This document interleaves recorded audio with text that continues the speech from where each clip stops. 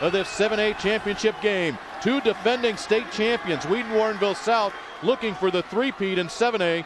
Boylan 6A defending champs looking to pick up their first title in 7A. Toney wants to go deep. Has his man Meister at midfield. Jaxson Meister. It's a race. Meister will win it. 79 yards from Toney to Meister.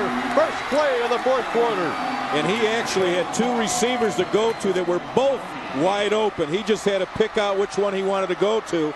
There had to be a miscommunication in that coverage because he just threw the ball right on a rope but he also had a, a receiver on the other side wide open.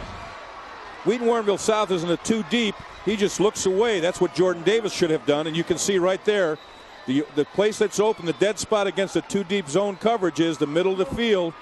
There he was. And just that little turn of his shoulders, watch right here, right there.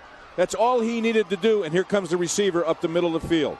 That was just the turn of the shoulders was just enough to get that safety to drift over on the other cornerback or receiver rather, and he was wide open.